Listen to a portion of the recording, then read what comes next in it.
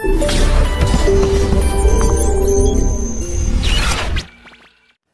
बच्चों. Very warm welcome to this amazing session so my dear students so आज इस lecture में हम लोग जा रहे हैं ब्रेड्स रूल को आज पढ़ेंगे, जो कि बहुत ही ज़्यादा इम्पोर्टेंट कॉन्सेप्ट होता है. तो इसको चलिए समझते हैं आज के लेक्चर में इसको. सो ब्रेड्स रूल एक्चुअली में होता क्या है ब्रेड्स रूल तो ब्रेड्स रूल बेसिकली देखो क्या है.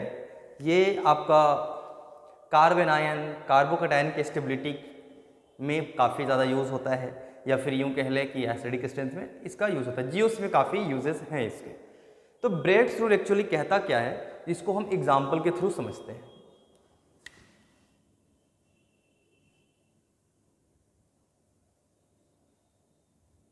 हमने यहाँ पर दो कार्बोकेटायन को यूज़ किया to understand the Bredt's rule देखो ब्रेड्स रूल क्या कहता है? तो देखिए यहाँ पर, ये दोनों कार्बोकेटायन क्या है? डिफरेंट है है ना? स्ट्रक्चरली सेम है।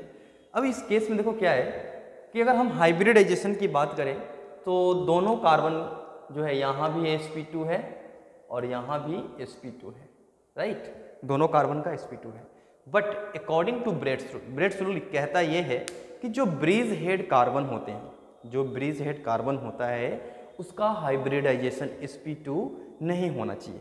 ऐसा क्यों बोला जाता है? देखो, ये भी बेसिकली एंगल स्ट्रेन पे डिपेंड करता है। जैसे, अगर sp2 हो जाएगा तो एंगल जो होगा दो बॉन्ड के बीच, वो एंगल होना चाहिए 120 अलोंग विथ बॉन्ड एंगल जो मॉलिक्यूल का ज्योमेट्री होना चाहिए, वो होना चाहिए प्लेनर मतलब एक ही प्लेन में आना चाहिए। और जिसके वजह से, इन दो रीजंस की वजह से क्या है कि ये जो बाईसाइक्लो कंपाउंड है। ये एक प्ले में नहीं आ पाता है और दूसरी चीज़ की जो एंगल होता है 120 sp2 के लिए, वो भी नहीं हो पाता है एंड हेंस जो मॉलिक्यूल है, उसके अंदर एंगल स्ट्रेन बहुत ज़्यादा आ जाता है। बहुत ज़्यादा एंगल स्ट्रेन आ जाता है। और बहुत ज़्यादा अगर एंगल स्ट्रेन आ जाता है तो ऐसे केस में क्या होगा? मॉलिक्यूल स्टेबिलिटी घट जाएगा।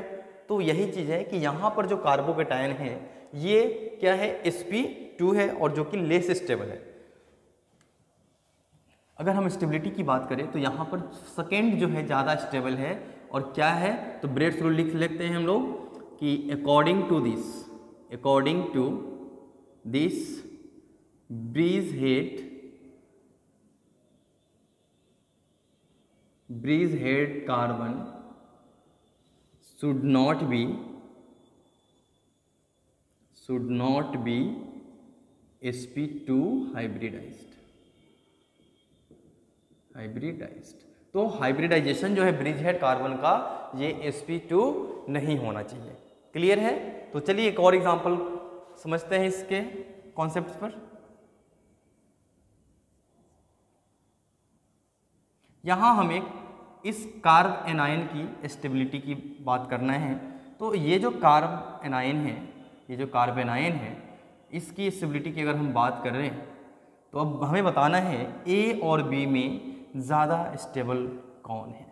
ए और बी में ज़्यादा स्टेबल कौन है? क्लियर चलिए।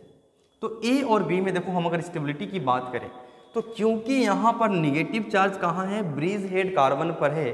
और जब ये रेजोनेंस में जाएगा तो इस कार्बन का जो हाइब्रिडाइजेशन है, वो क्या होगा? Sp2 होगा।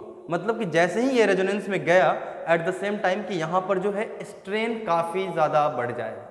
यहाँ जो है स्ट्रेन काफ़ी ज़्यादा बढ़ जाएगा। बट यहाँ पर ऐसा कुछ केस नहीं है कि अगर ये रेजोनेंस में जाता है तो कुछ लाइक एंगल स्ट्रेन का कुछ इशू आता है।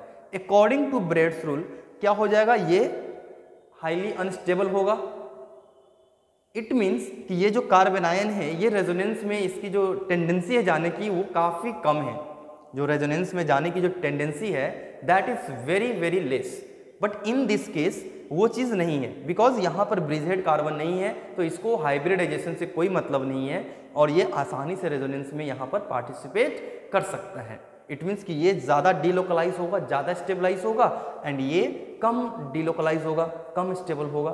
सो so, यहाँ पर भी स्टेबिलिटी की अगर हम बात करें तो बी का स्टेबिलिटी ए से ज़्यादा होगा।